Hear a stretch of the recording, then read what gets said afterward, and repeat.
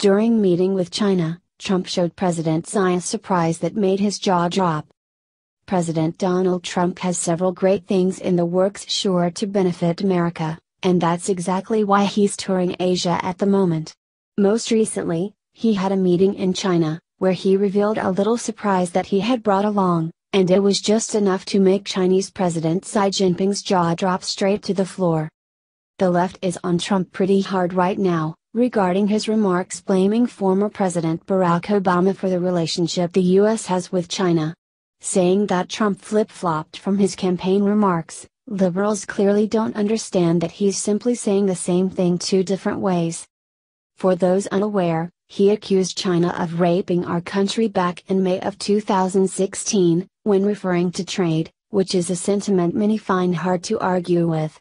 However, as he most recently explained that it's Obama's fault, short sighted liberals, like CNN, were quick to attack claiming that he'd reversed course.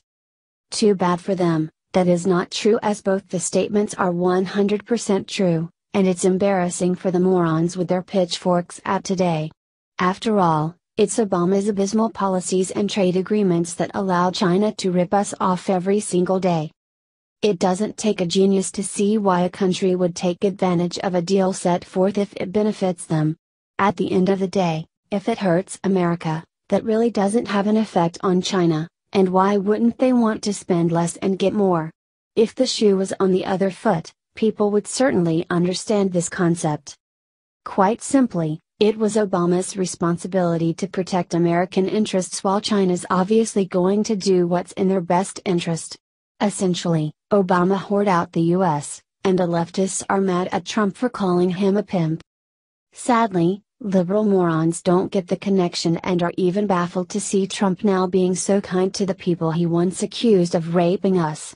Too bad for the left, Trump's desire to improve relations with China by being cordial is not going to stop no matter how much they fuss and whine. Proving just that, Trump decided to bring a little surprise along with him to his meeting with President and revealed it moments after the two were seated. As it turns out, Trump's granddaughter was recorded in a video that left the Chinese leader's jaw on the floor. At the end of the day, this was an incredible exchange, but I doubt that it will get any real mainstream media coverage whatsoever, at least, not from networks like CNN and MSNBC and not with the praise it deserves.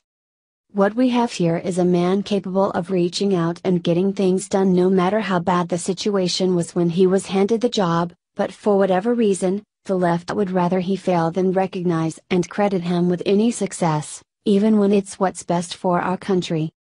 Trump is making America great again, and the leftists in this country may want to hold on to their seats because it's going to be a bumpy ride for them if that's not something they can appreciate. As for the idiots out there who can't see that good things are in their works, well, their failure to comprehend common sense says more about them than it does about President Trump. Ignoring the truth simply because it hurts your narrative doesn't do anyone any favors and is the reason that things aren't progressing as quickly as they should. Liberals need to pick their battles because, at this point, they're showing off just how dumb they are with crap like this, like this.